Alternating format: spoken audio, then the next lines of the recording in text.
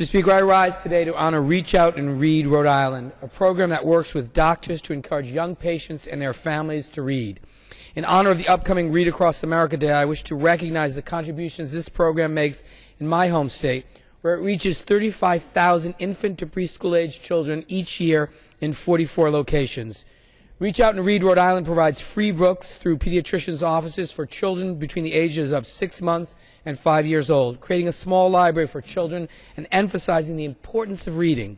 Reach Out and Read Rhode Island helps to distribute 60,000 books each year to young children and their families, working to build a foundation for when a child enters school. Reach Out and Read Rhode Island should take great pride in the contributions it makes to our young children.